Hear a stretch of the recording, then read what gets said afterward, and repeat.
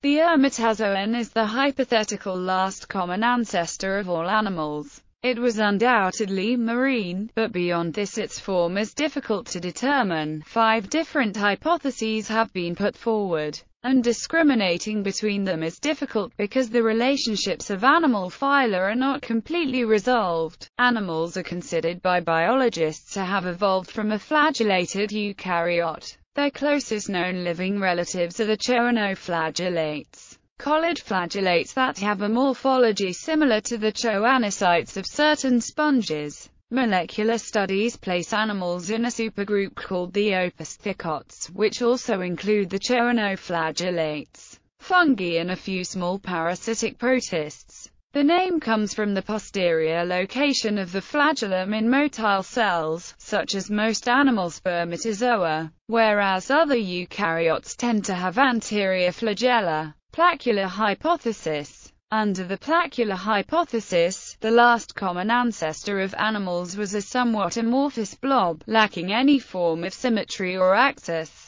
The center of this blob became raised slightly from the sediment, to create a cavity which assisted feeding on the seafloor below. As this cavity developed, it became deeper and deeper, until the organisms resembled a thimble, with an inside and outside. Some sponges and cnidaria have this kind of body form. The development of the bilaterian body plan follows from this hypothesis. The urbilaterian would develop its symmetry as one end of the placula became adapted for moving forwards, which would result in a left-right symmetry. Planula hypothesis the idea suggests that metazoa derived from a planula, that is, the larva of certain cnidaria. Under this hypothesis, the larva became sexually mature through pedomorphosis, so could reproduce without passing through a sessile phase. Gastraea hypothesis the Gastraea hypothesis was proposed by Ernst Haeckel, shortly after his work on the calcareous sponges.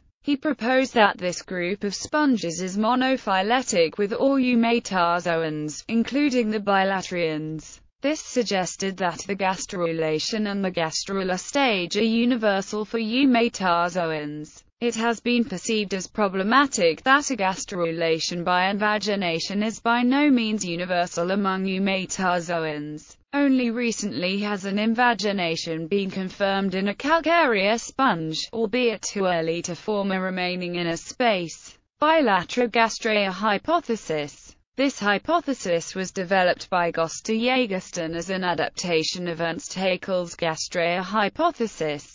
He proposed that the Bilaterogastraea had a two-stage life cycle, with a pelagic juvenile and a benthic adult stage. The invagination of the original gastrula stage he saw as bilaterally symmetric rather than radially symmetric. Phagocytella hypothesis, proposed by Elie Metchnikoff